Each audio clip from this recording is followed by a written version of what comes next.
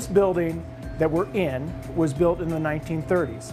It was an addition to the original store, which was built in 1908 by Sam Eagle, one of the founders of West Yellowstone, and it, the building itself is on the National Historic Registry.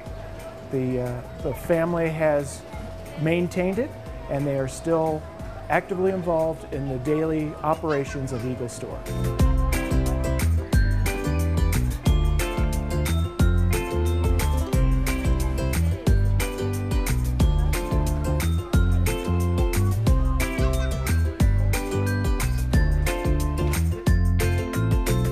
This soda fountain counter was installed by Sam Eagle, the original owner of Eagle's Store, in the 1930s. The tiles in the front of the counter came from the Southern California area.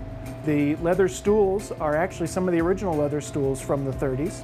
And uh, Sam put it in to take care of the customers visiting Yellowstone. A lot of the ice cream originally served was handmade here by family members.